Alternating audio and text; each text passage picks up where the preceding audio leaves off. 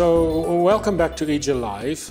This is one of our short uh, snippet interviews, and I have with me Benedict Kingsbury, my colleague from NYU, and who also happens to be uh, one of the two editors in chief of uh, the American Journal of International Law, our elder brother. Now, you know in the Bible it's always the younger brother who's preferred, but uh, so I thought I would just take the opportunity and uh, everybody kind of uh, having an interest in EJIL Live would be interested to hear what your and Jose Alvarez's plans are for AJIL.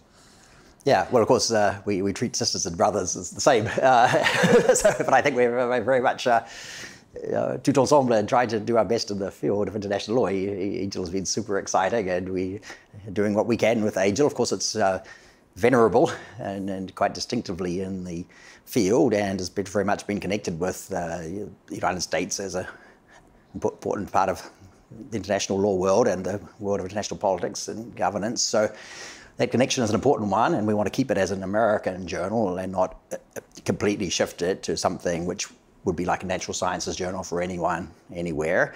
Um, on the other hand, we are very keen to make it a journal which people around the world want to read not just because of interest in what people in the United States are thinking, but because it's a world journal which caters to what people are interested in and has contributors from around the world and reviewers uh, and participants in the board and uh, other ways of people being really involved. So we've tried to do that uh, expansion of, of, its involvement of people by uh, starting an online version called AJIL Unbound, which has probably got 70 or 80 short papers now. We've tried various formats, and of course, EJIL has been much, much longer online and spectacular leader in this. But we are, at the moment, I think, settled on a format of short essays up to 3,000 words and peer reviewed. So they're not instant, not a blog, even though we used a blog format initially. And well, eventually, those will be all both HTML and PDF uh, paginated for an annual uh, series, so they'll be citable and permanently there. Now, aim there is to be strong in scholarly terms, uh, current, but it could be pure theory, could be something quite recent. Uh, ASIL, the American Society of International Law, publishes an insight series which covers important current developments in a more this is what's happening kind of way. We're trying to be more of a journal, but with that more accessible format, we hope. And we have in there a commentary on articles and recent issues. People can respond in, in, in, a lively way, but with not, not evanescent comments, but durable ones. So the peer review process applies to those. We have a committee of uh, seven members of the board and a managing editor who's Harlan Cohen present, uh, and we hope involving a lot of younger scholars uh, and very much aiming to bring in people from anywhere in the world who would like to write something. That's the spirit of it. So that's a, one direction, one I'm very excited about. We're now trying to see if we can develop a a stronger website for it to make it more accessible in the inspirational way that EJIL has done. And I think we hope that website could also be a basis for expanding the long articles in the journal uh, over time. We would like to get towards some more open access material than we have. We're very conscious, as any publishing journal is now, that we write things about issues in all parts of the world, and it's difficult for lots of people to access those if they don't have a structure. We it's not easy revenue wise, but we'd like to move towards much more of that. We, uh, I think, I hope to do more, which is more maybe cutting edge theory, innovative ideas of some sort, uh, cross disciplinary stuff more in a non ponderous but robust way. And also. And when you say more, would that be simply by way of indicating preferences to your potential authors of what you as editors would be interested in reviewing? Or actually being, uh, you know, proactive, uh, generated symposium, commission pieces, etc. We're trying to do what we can to give a little bit of leadership and encourage focus in some scholarly areas that we think are a little neglected. We've tried to so we systematically study what we receive, and there's a mis- big mismatch between what seems to be intellectually exciting or important in the world uh, on the one hand, and the, the focus of submissions we receive on the other, concentrated in a rather small number of areas of the submission. So we're trying to do some new things. One of which we're supporting is comparative international law, the field, and we've had one some physical meeting last year of some authors, and we're reviewing a lot of manuscripts now in that area, and we hope to get a whole symposium out with the idea of at least exploring whether the comparative international law idea has some traction We're doing something also on the Yugoslav and Rwanda tribunals as they wind down. As so these, these would be commission papers that you would actually turn to scholars and say, write to it?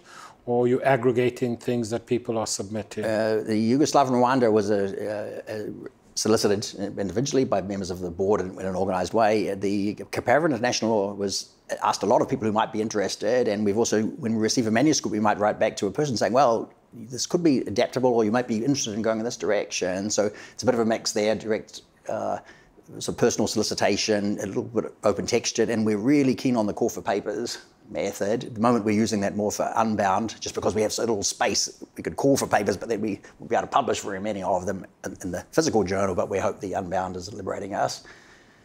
Have you at all had any thoughts, because that's something that at EJIL, it's, we've been thinking about this every year, and we just keep uh, uh, beating our chests and going to and fro.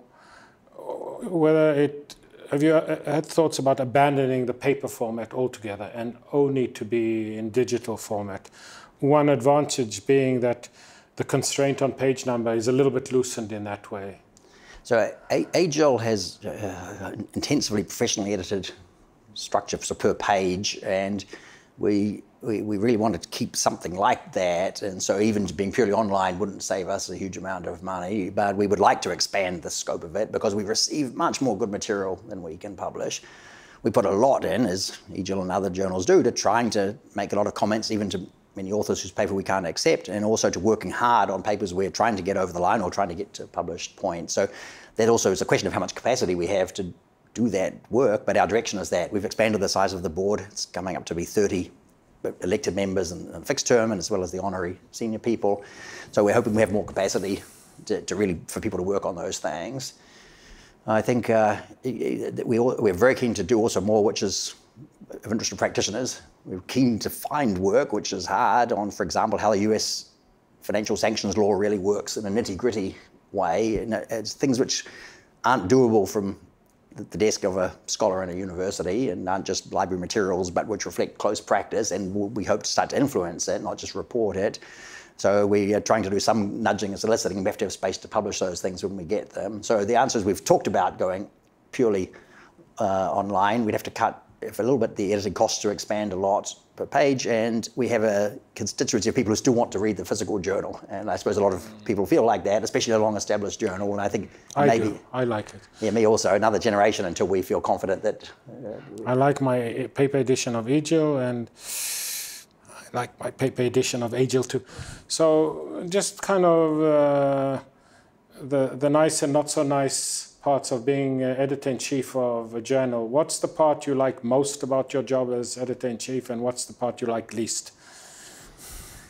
Well, most is the moments, which aren't so uh, common, where we can find a manuscript by a scholar not so well established uh, and which gets through the board re review process, which is quite robust and rejects quite a number of papers that I myself might want might accept uh, gets one across that line, and then it comes out in, into the world, and people are excited about it. It's done something different, and that's it's a, long gestation, and it's hard sometimes to remember the moment when one was so surprised to read this manuscript, not knowing much about the author or the topic, and there it's finally come out. But we've had some of that. We had a nice one on human trafficking, which has pushed in a new direction.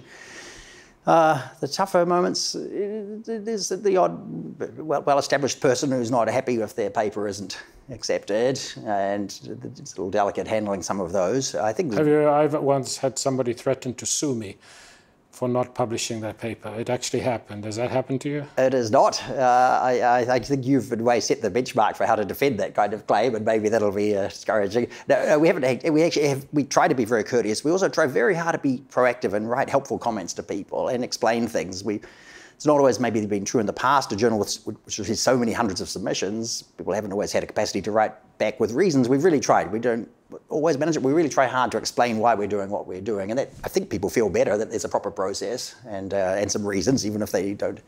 They, of course, people don't see all the hundreds of manuscripts we're not able to publish. So in a way, it's hard for someone just thinking of theirs to know what would have been excluded had we put theirs in. But we, we know that, and that. You know, we once a year publish our stats our vital statistics.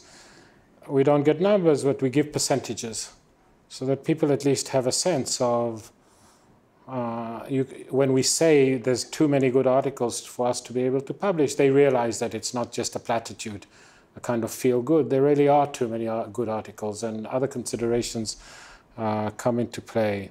So you like that least? That's the that's kind of having to explain to people why they're not published.